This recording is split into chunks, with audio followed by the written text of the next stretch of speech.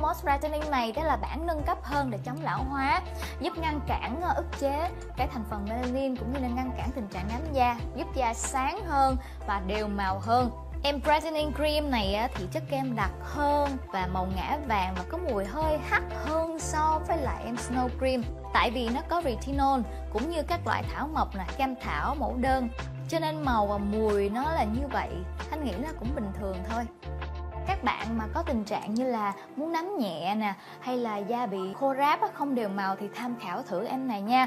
Riêng bản thân thanh khuôn mặt thanh có hai hai bên hai bên đây nó hơi bị nám nhẹ. Sau một thời gian mà thanh sử dụng kem dưỡng này kết hợp với bài tập thể dục mặt ngày hôm nay thì kết quả thanh cảm thấy nó mờ hẳn. Những cái vết đó nó không mất hẳn đâu nhưng mà nó dấu hiệu mờ. Mọi người hiểu cái cái vấn đề nám á, rất là khó để trị khỏi. Thanh đã từng đi bắn laser luôn á, nhưng mà nó cũng không có thể mất được, nó chỉ mờ thôi. Thanh cảm thấy nó lại ra nắng lại đậm lên lại. Cho nên là thanh nghĩ là, thanh thấy là khi mà xài cái hũ này brightening cream và kết hợp với bài tập của thanh ngày hôm nay thì da của thanh đã cải thiện hơn rất rất là nhiều. Nhưng mà tùy cơ địa và mỗi người nha, không phải là ai cũng sẽ có cái hiệu quả nhanh tức thì. Có người sẽ là một tuần, có người hai tuần, có người ba tuần. Quan trọng là mình hợp với cái kem đó hay không. Cho nên mọi người cứ tham khảo thử nha. Đối với thanh khăn tạng cảm thấy rất là hợp cho nên thanh chia sẻ với mọi người.